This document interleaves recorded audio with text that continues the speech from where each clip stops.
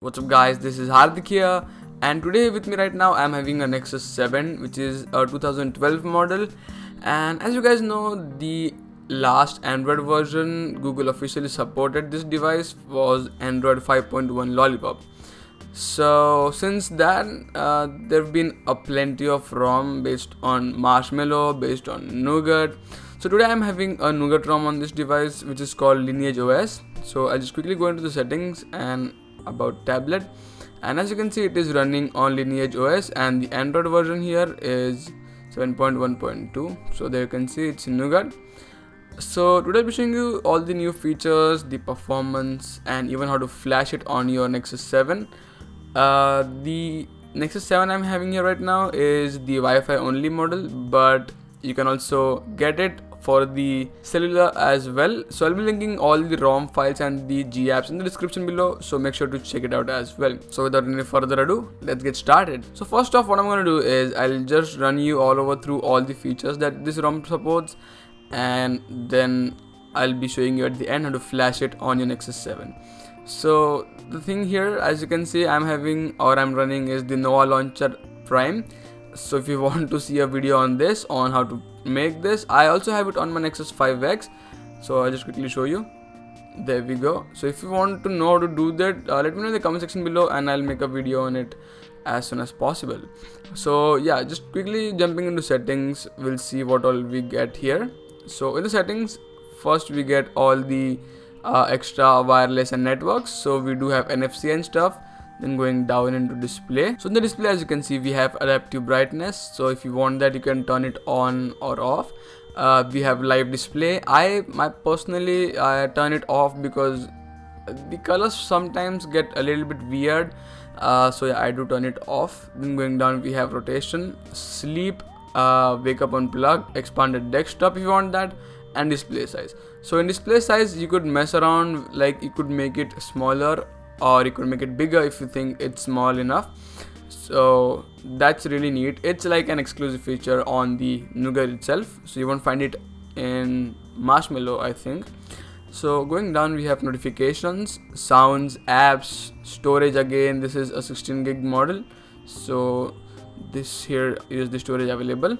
Then going back to battery battery life on this device was pretty good. I mean it's not that good but as compared to the lollipop that was running on stock it's much better. I feel that after flashing this rom the one thing that has improved is the standby time.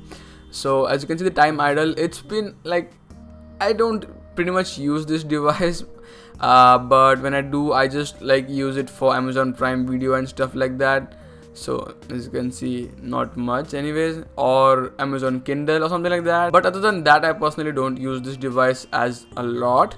So battery life for me i have not like completely tested it yet but for me it's like pretty much hit or miss. So yeah there we go. Anyways this is the 2012 model. How many people like personally use this as the daily drivers? Like pretty much few uh, so yeah battery life like doesn't matter for me. Then we have memory. So again this is like the uh, available ram and stuff like that. So if you this device again comes with 1 gigs of ram. So the available ram and the apps using memory are shown over here. Then we do have gestures. Uh, again i don't use it. Jump to camera is the one i use uh, because we can just double tap on the power button and we can jump to camera. Also this ROM supports a camera so here you go. Uh, but again we don't have the rear facing camera over here so we only have the front facing camera. But in the stock lollipop 5.1 we did not get the option of camera so there was no google camera but this rom provides us a google camera as well. Again double tap to sleep here if you want that. So again going back we have buttons. So you could customize the buttons as per our wish uh, let's see. We can also customize the power menu. So if you just hit that as you can see uh, like what all features you want or what all options you want in the power menu you could enable or disable it from here. So i personally don't like airplane mode. So yeah i just disable it. So pretty much it's power off and restart so also there's an option to advanced reboot so that comes under restart as well. Then we have volume buttons so again volume up volume down and other stuff like that. Then going back again we have location security privacy status bar. So again uh, all the lineage os roms have this. So we do have support to customize the status bar itself so we could show notification counts. Also quick pull down is the feature i like so i did have the right pull down so if I just pull down from right I'll quickly get into notifications. Whereas if I pull down from left I'll get into notifications. Sorry the right pull down will show me my quick toggles as well. So yeah uh, quick pull down is the thing I like. Then going down we have battery status style. I personally prefer circle and then a battery icon but yeah you can select the icon portrait if you want the stock look. But yeah for me it's circle. Then again going down we have brightness slider. Also we do have an auto brightness slider in the uh, quick toggles itself. So as you can see we could uh, enable the auto brightness or disable that. But I personally don't like having auto brightness over there. So let's keep it on auto real quick and I disable the feature here. Then again brightness control we could control by sliding it over the status bar itself nothing else. Then again going back we have backup and reset developer options and stuff like that. So again advanced reboot as i said if we power if we press the power button if we press reboot we get options to go into soft recovery recovery bootloader and stuff like that. So yeah this is present in each and every rom as for now so again going down we have root access i mean there's no super su but we do get root so we could either select apps only adb only or apps and adb but I suggest select the apps and ADB if you want the complete access. Then again all the basic features in the developer options. Again going back into 7.1.2 which is the Android version. So there we go. Also the build date here is June the Friday 9th. So it's not like the oldest build. So they are upgrading this uh, tablet itself. So it's not like left alone. Developers are still working on this and stuff like that so yeah that's pretty much it also the pre-installed apps we have our calendar clock and stuff like that so i did uninstall those and because like no one needs it in a tablet. Even if i do install i'll probably install the google ones from the play store but yeah that's been it. Also quickly jumping into camera let's check it out. There we go. As you can see we do have a front facing camera over here. Uh, also video.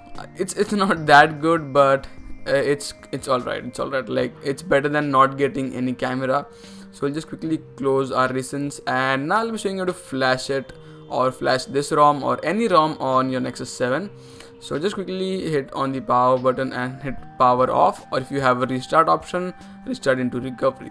But if you don't uh, make sure your device is powered off completely then select the uh, volume uh, down and power or press them at the same time. So you'll be jumping into recovery itself.